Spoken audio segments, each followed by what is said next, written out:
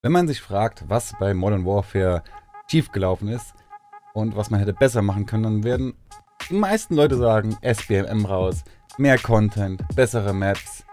Und die Antwort von Infinity Ward, COD-Spieler wollen nur das eine, und zwar das hier. Das ist schön. Ich hab mir aufgeputscht, da habe ich ja richtig Bock drauf. Wer, wer denkt sich sowas aus? Wer hat sich das ausgedacht? Alter. Oh Gott, jawohl. Da ist er.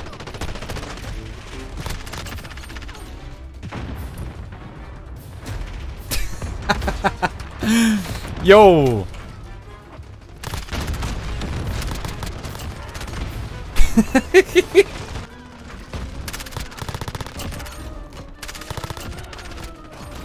okay, der war schön.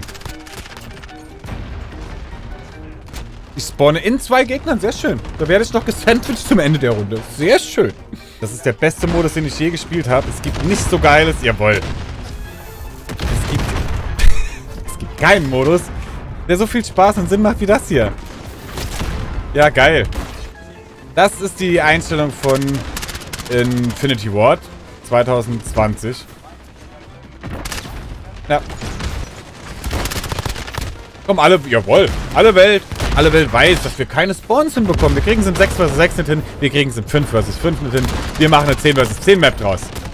Ja, weil das so super, also wirklich. Hut ab für diese Kreativität.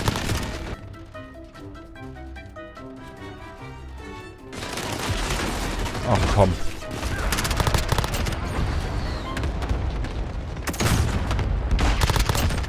Mal ohne Scheiß, was für Drogen nehmen die dort? Wir haben es doch noch verloren. Was für Drogen nimmt Infinity Ward? Ja, und damit herzlich willkommen zu einem neuen Call of Duty Modern Warfare Video. Mein Name ist Takoffel und heute, ja, habe ich mich wieder in den normalen Multiplayer, auf normalen Multiplayer-Maps gestürzt und gehe der Frage ein bisschen auf den Grund, was die Spieler eigentlich hätten wollen würden. War Modern Warfare 2 Remastered, genauso wie früher, was ich davon halte. Und wo eigentlich das wirkliche Problem am Spiel liegt. Ich meine, dazu habe ich schon oft genug Videos gemacht. SBMM ist ein Problem davon. Aber das größere Problem ist das Gameplay und vor allem, was die Community daraus macht. Die zwei Runden, die ich euch zeige, sind dafür wirklich beispielhaft. Viel Spaß mit dem Video. Würde mich über einen Daumen nach oben, netten Kommentar freuen. Wenn ihr das noch nicht gemacht habt, lasst ein Abo da und jetzt Film ab. Also mir kann kein Mensch erzählen, dass er das wirklich will, dass er das feiert.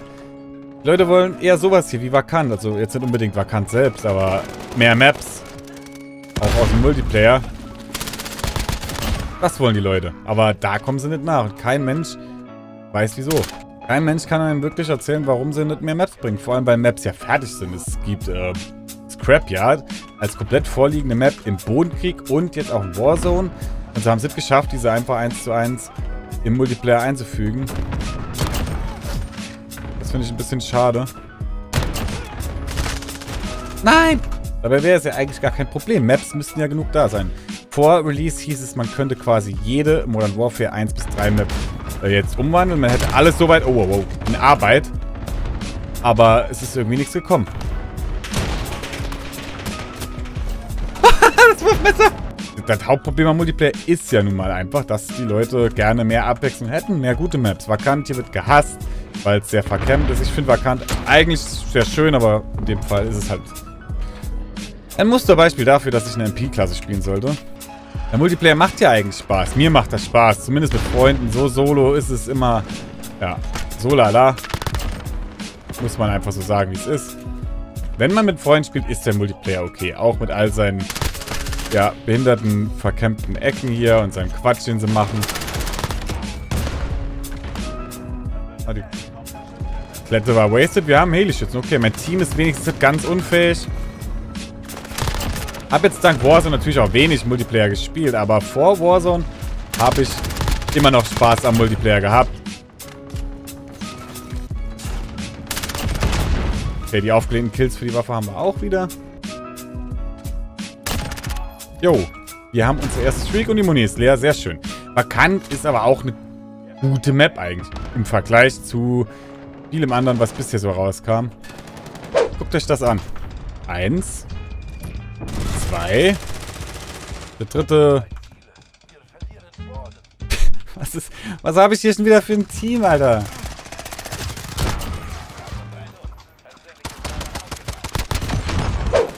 Gib mir mal einen Bison her. Danke.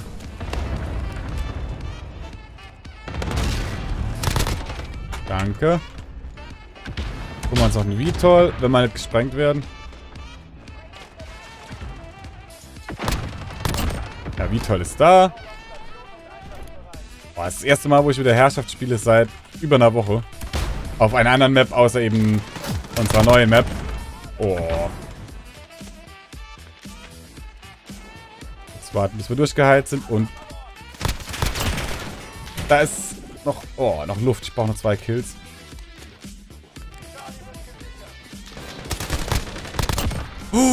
Oh Gott, noch ein Kill. Nein! Oh, eins davor. Jetzt kommen aber die Leute alle und wünschen sich, dass Modern Warfare 2 Remastered, was ja die Woche auf Playstation erschienen ist, eben auch den Multiplayer zurückbringt. Weil das ja viel, viel cooler wäre. Und da muss ich sagen, da bin ich äh, ganz anderer Meinung. Ich glaube, der Multiplayer würde heute einfach nicht mehr funktionieren, den wir uns wünschen. Modern Warfare 2 war in all seiner Pracht schon ein gutes und ein wegweisendes Spiel, aber es war auch irgendwie der Beginn des Untergangs. Und ich werde oft belächelt, wenn ich das sage, oder man sagt mir, ja, du laberst scheiße, aber man muss es nüchtern betrachten, ohne eben diese Nostalgiebrille anzuziehen und zu sagen, ja, das, du hast ja keine Ahnung, das war so geil, das war das beste Spiel.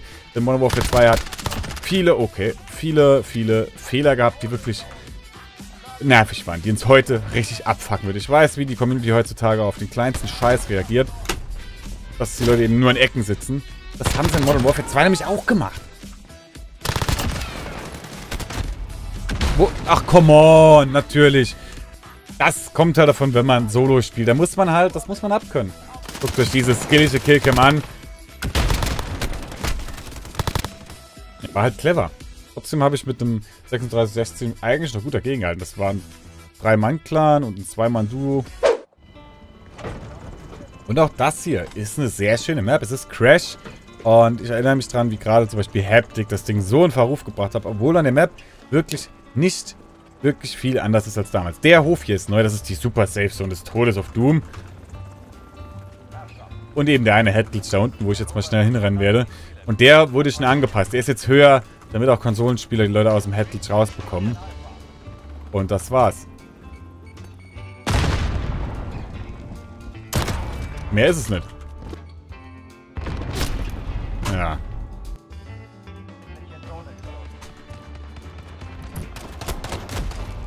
Wo kommst du jetzt her? Ich hab doch geguckt. Ach komm. Oh mein Gott, was? Oh. In Team haben es drei Leute noch geschafft, immer noch keinen Kill zu machen.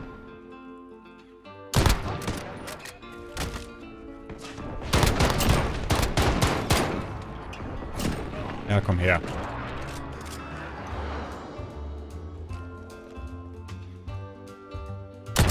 Dankeschön.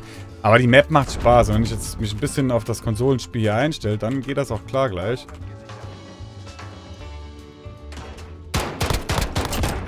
Die Waffe ist ultra langsam. Das ist die neue Waffe aus dem MB2-Pack. Danke. Wir haben Clusterschlag ready. Wir haben B immer noch nicht eingenommen. Das sagt eigentlich schon alles über die Lobby aus. Aua. Wie die spielen, die sitzen aber auch alle in der Ecke. Er steht auch hier und hat hier die Mission seines Lebens. Er bewacht die Fahne. Du weißt schon, dass du die Fahne auch einnehmen kannst. Oh ja, kann ich. Cool. Geht einer rein. Natürlich geht einer rein. Der kriegt gar nichts mit. Aber wenn doch alle so spielen, dann wollen es die Leute doch auch. Wenn alle so spielen, dann wollen die Leute auch so spielen. Warum wird es schon beschwert? Das spielen doch alle so. Jetzt habe ich auch eine MP, mein junger Freund.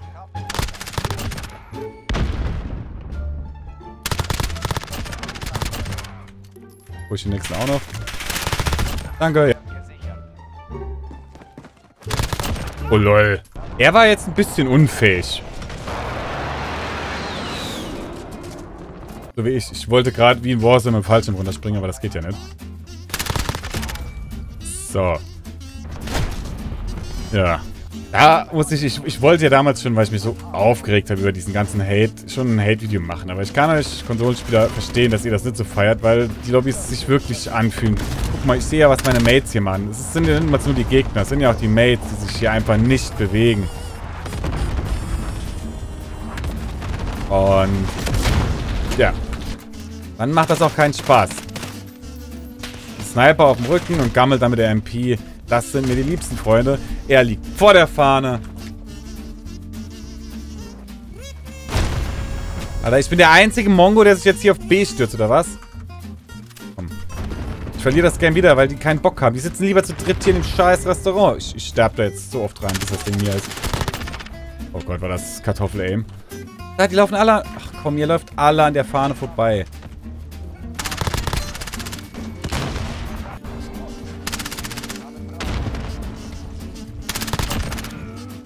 Die Gegner sind so schlecht eigentlich. Warum den Kill? Er wollte es wieder probieren.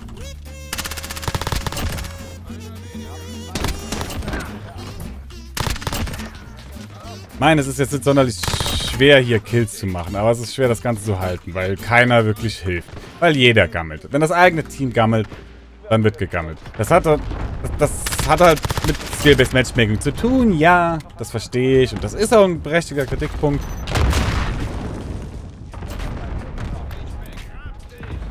Aber warum muss ich immer die Leute bekommen, die keinen Bock haben, sich zu bewegen?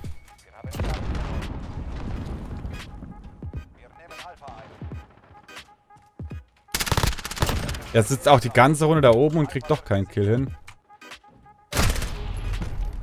Was ist mit dieser Lobby los? Howard, DDC. Geh jetzt, da ist die Fahne. Da, das Ding ist die Fahne. Ja, geh bitte hin. Da, hier in der Mitte. Da, hier. Hallo. Ja, wir hätten das Game locker gewinnen müssen. Aber die Leute hatten keinen Bock drauf.